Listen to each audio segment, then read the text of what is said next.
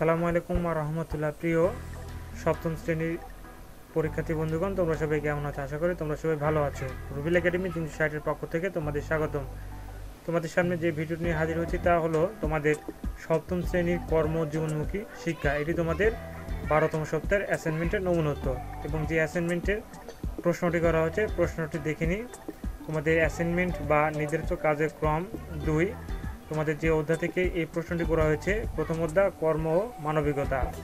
এবং যে অ্যাসাইনমেন্টটি করতে হবে তা হলো তুমি আত্মমর্যাদাবান ও আত্মবিশ্বাসী মানুষ হিসেবে নিজেকে কীভাবে গড়ে তুলতে পারো, তার একটি কর্ম পরিকল্পনা প্রণয়ন করো। এবং একটি যে নির্দেশনা দেওয়া আছে, যে নির্দেশনাটি তোমার পরিবার বা আত্মীয় স্বজনের মধ্যে এমন একজনকে বেছে নাও যিনি আত্মমর্যাদাবান হিসেবে সমাজে পরিচিত, স্বাস্থ্য সুরক্ষা নীতি বজায় রেখে সমাজে আত্মবিশ্বাসী হিসেবে নিজেকে গড়ে তুলেছেন। সে বিষয়ে তথ্য সংগ্রহ করো। সপ্তম শ্রেণির প্রথম মধ্যা পাঠ দশ থেকে ষোলো পাঠের সহায়তা নিতে হবে। তা চলো তোমাদের এই প্রশ্ন নমুনাত্তরটি দেখে নেওয়া যাক। তবে তুমি যেন চ্যানেলে নতুন হয়ে থাকো, পরবর্তী সপ্তাহের অ্যাসাইনমেন্টের জন্য চ্যানেলটি সাবস্ক্রাইব করে বেল আইকন অন করে দাও। তাহলে চলো শুরু করা যাক।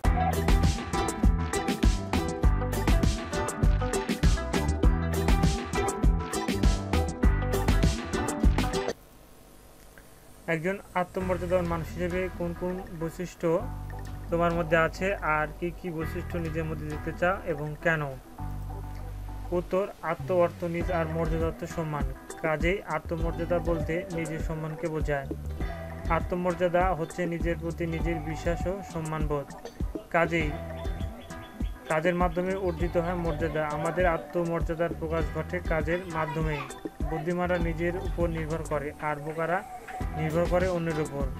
কাজেই নিজের কাজ নিজে করাটাকেই আত্মমর্যাদা পরিচয় হিসেবে আমাদের লক্ষ্যবোধ থাকা উচিত। অন্যায় করলে আমরা লজ্জিত হই। আমাদের এই আচরণই আত্মমর্যাদার পরিচয় বহন করে। আত্মমর্যাদা সম্পন্ন মানুষের মধ্যে একটি বৈশিষ্ট্য হচ্ছে তাদের নিজের কোনো শারীরিক বা মানসিক সীমাবদ্ধতা থাকলে নিজের ক্ষমতা ও সমর্থনকে সম্মান করে এবং নিজের উপর বিশ্বাস রাখে। একজন আত্মমর্যাদাবান মানুষ হিসেবে আমার মধ্যে যে সকল বৈশিষ্ট্য আছে তা নিম্নে উল্লেখ করা হলো। আত্মমর্যাদাবান সম্পন্ন মানুষ, আমি আমার নিজের দায়িত্ব কর্তব্য যথাযথভাবে পালন করি। বিদ্যালয়ে সকল নিয়মকানুন মেনে চলি এবং শ্রেণীকক্ষে আস্তে কথা বলে যাতে অন্যের কোনো সমস্যা না হয়। আমি সবসময় অন্যের মতামতের প্রতি শ্রদ্ধাশীল থাকি এবং তাদের মতামতকে গুরুত্ব দিই।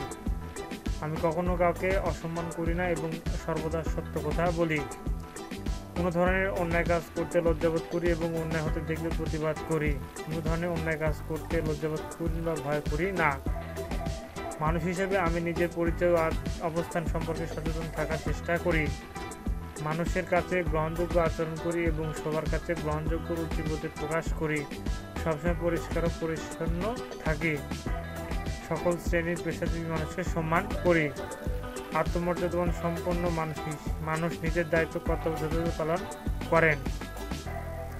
আমি আত্মমর্যাদার এই বৈশিষ্ট্য নিজের মধ্যে দেখতে চাই, কারণ নিজের কাজ নিজে করলে সঠিক পদ্ধতিতে কাজ করা যায়।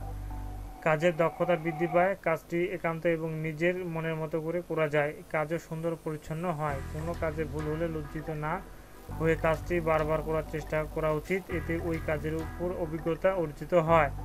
ধৈর্য ও সহিষ্ণুতা বৃদ্ধি পায় এবং সৃজনশীলতার বিকাশ ঘটে। সবসময় কাজটি করা যায় এবং অর্থের সাশ্রয় হয়। মানুষের কাজের মধ্যে তার ব্যক্তিত্ব, মননশীলতা ও রুচিবোধের পরিচয় পাওয়া যায়। তাই যে ব্যক্তি নিজের কাজ যত বেশি করবে, তার ব্যক্তিত্ব, মননশীলতা ও রুচিবোধ তত বেশি অর্জিত হবে, মার্জিত হবে। তাই নিজের কাজ নিজে করার মাধ্যমেই মননশীলতা ও ব্যক্তিসত্তার বিকাশ ঘটে। কাজ করলে শরীর মন দুটো ভালো থাকে। কাজ করার মাধ্যমে শরীরের শরীরের পেশিগুলো সঞ্চালন হয় এবং শরীরে ব্যায়াম হয়। এতে মন প্রচুর মন প্রফুল্ল থাকে। এতে করে নিজের উপর বিশ্বাস অর্জিত হয় এবং আত্মমর্যাদা আরও বৃদ্ধি পায়। তো এই ছিল তোমাদের সপ্তম শ্রেণির কর্ম ও জীবনমুখী শিক্ষার প্রশ্নের নমনোত্তর। ভিডিওটি কেমন লাগল অবশ্যই তা কমেন্টে জানাবে এবং তোমাদের বন্ধুদের মাঝে শেয়ার করে দেখার সুযোগ করে দেবে। ধন্যবাদ সবাইকে। আসসালামু আলাইকুম।